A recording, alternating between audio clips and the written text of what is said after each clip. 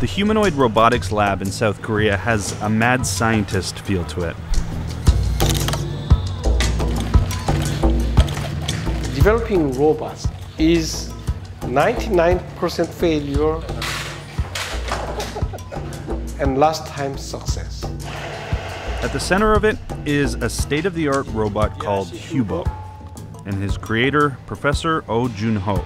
If someone says I'm the father of Hubo or sometimes.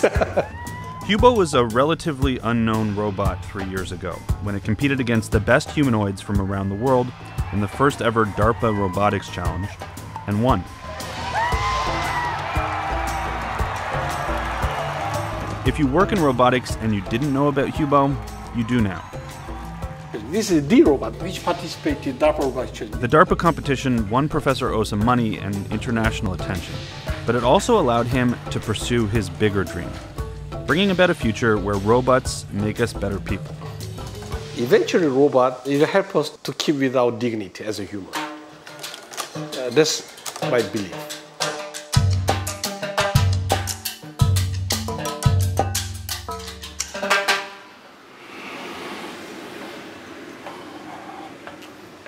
Professor O has a lot going on.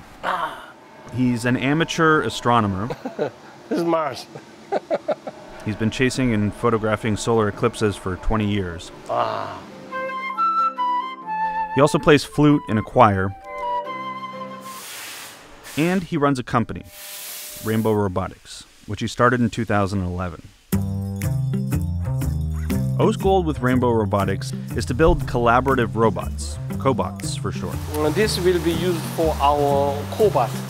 They don't look like humanoids. They're cheaper, easier to use, and safer robots that are built to operate alongside humans. O says the future is going to be filled with robots like this. And it's a future we shouldn't be afraid of. We don't need to worry about that. Making a super finger. Humans are so adaptable for everything. It, will be gradually appearing, so we are enough time to adjust yourself.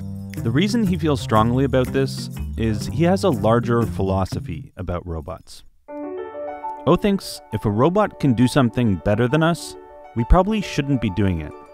That we should be focusing on the things that we do better and enjoy more. Things that require creativity or compassion. And he thinks robots will improve our quality of life in other ways, especially as we age. If you lose your physical ability, you have to be helped.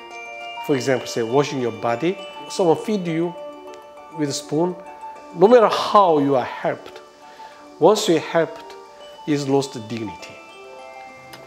It is equivalent to human muscle. If it is done by robots, and if it is done by your own will, then he can keep his own dignity. O spent 15 years doing research in mechanical engineering, mostly just working on robots as a side hobby. Then in 2000, he saw something that changed his life. Honda introduced the Asimo robot. I was so amazed. My curiosity was arise. Asimo's advanced physical capabilities are revolutionary. Uh, how could we make that kind of compact robot which can walk?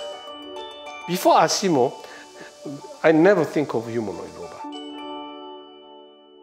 Ah, ah. O applied for funding to build his own robot, but was denied again and again. He had no background in robotics.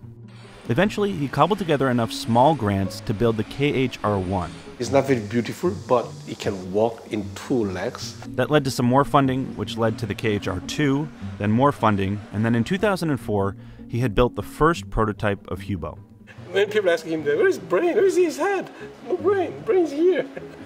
Fast forward to 2015, and here he is, about to beat 22 robots from some of the most impressive research institutions around the world, like NASA and MIT. O oh, still gets excited talking about it. So many cameras and journalists, media came in and want to make interviews. We just shout and run to the site, and it was crazy. 오 박사님을 소개합니다. 오 박사님. The wind changed Oh's life. Hubo's too.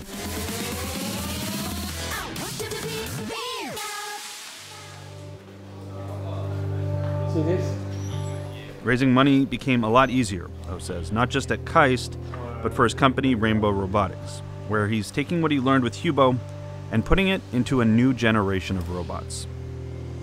Robots that anyone can use, and that he hopes will make all of our lives better.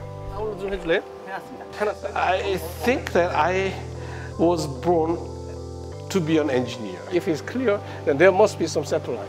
Even in very, very small boy, three or four years old, I always want to touch something. I always want to see behind. My grandmother always run the sewing machine, and I always want to see inside of it. From that day, I just start to think that I could make it.